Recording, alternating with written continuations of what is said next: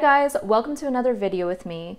Today I'm going to be showing you guys a commentary version of a music video I worked on for the band Tree Frog Express. So about a month ago, my old friend Thomas, he reached out to me and asked if I'd be interested in doing a storyboard style music video for him and his new band. I accepted the project. Uh, I was very excited to work on a music video. It was a project that I've actually been wanting to work on for a while. I've always wanted to work um, on a music video in some shape or form, so this was my opportunity to do that. But before I started the project, um, to give me a better idea of what exactly I will be creating, Thomas created a document that he sent me through Google Docs, which ended up being the most important tool throughout this entire process.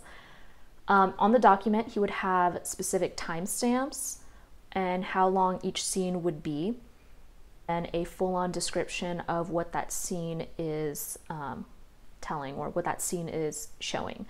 The main characters in the music video, you have the main character and the somewhat villainous figure, which we called the entity, and then his followers, which were uh, called demons. Uh, they there were no names. It was all very um, it was all pretty vague, but he provided uh, specific photo references. So for the main character, he wanted me to reference um, like an anime version of himself. With that in mind, I took a lot of inspiration from uh, the manga Death Note, as well as uh, the same artist uh, but different book. It's called Bakuman.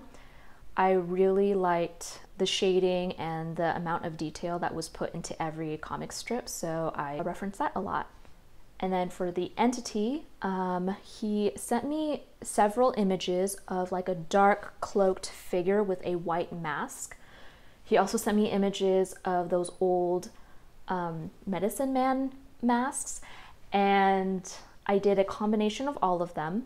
We did uh, do variations of that because originally he wanted the entity to be smiling in a menacing sort of way, in a mocking uh, form towards the main character through some of the scenes.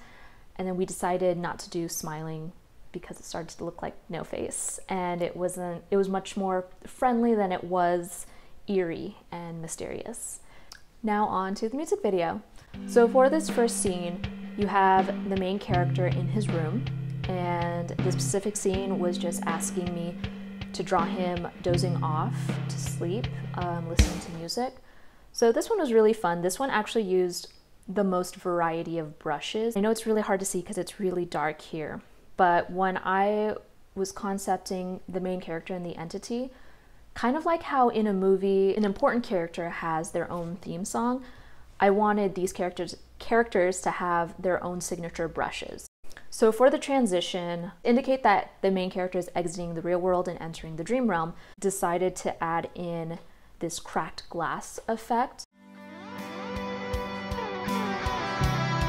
The first scene where he is in the dream world, he is actually um, seeing people from his past and they appear to him all at once and he wanted them to be just the back of their heads because when they turn around, which will be in the next scene, it'll be a little more um, dramatic because they are actually past demons.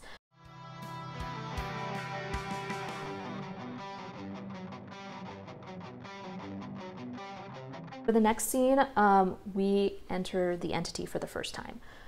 So, because he is meant to have a more dramatic presence, a more dramatic entrance, and you can also hear that in the music transitions as well. Because this is not a fully animated music video, I had to play around a lot with um, panning the camera left to right and zooming in and out to mimic the idea of movement. Even though these are still images, um, you still feel as though it is actually in movement. I did take inspiration from the Heartless from Kingdom Hearts as well as demonic looking creatures that I used to draw. So throughout the music video, actually, after I would work on each individual piece in Photoshop, I would put it into iMovie and see actually matched up perfectly with the drawing itself. Otherwise, I would uh, play around with the timing. I would have um, the art piece like go slower or I would change the zoom in and zoom out just to make sure that it matched the music because that was always the most important thing. So this scene where the entity is actually picking up the main character from uh, these overwhelming amount of demons, this is where you can see I gave the character signature brushes. So for um, the entity with a lot of watercolor brushes to kind of give him a ghostly effect. Before the main character's brushes mainly based off of manga shadings and fills.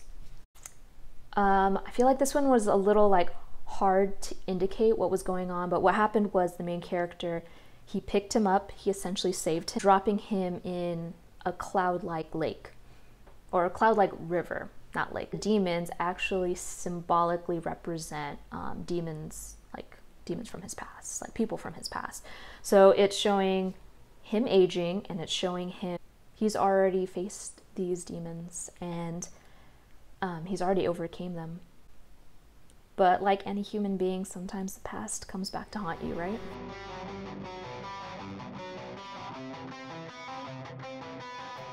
This running sequence is actually inspired by the music video Clint Eastwood by the Gorillaz. So even though that music video is actually fully animated, there is actually, um, you look at Murdoc running, um, you actually see like these perfect poses and you have one pose of him running and all the artist did was invert it back and forth to kind of indicate a running motion.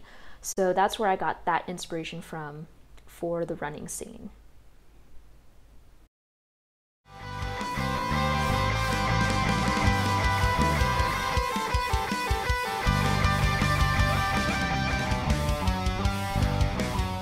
Character is running towards the entity, um, I used a watercolor absorption brush instead of a regular eraser in Photoshop um, to kind of indicate that the main character's energy is like repelling this dark energy.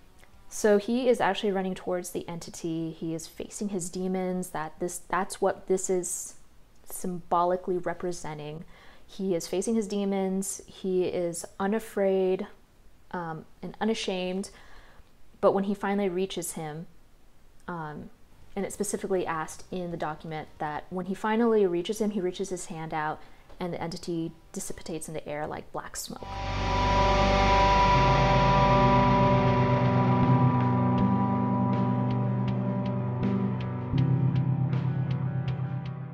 This is actually my personal favorite scene um, from the transition of him being in shock. As the music is fading out, you see the entity waving and his um, demon followers overwhelm the streets of the main character's neighborhood.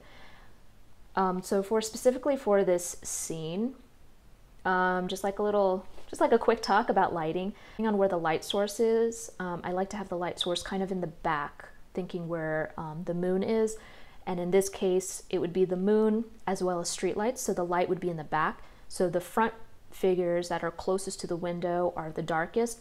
And then um, I drew the figures and then I took that as a layer and I repeated it over and over again and um, reduced the opacity until it disappeared.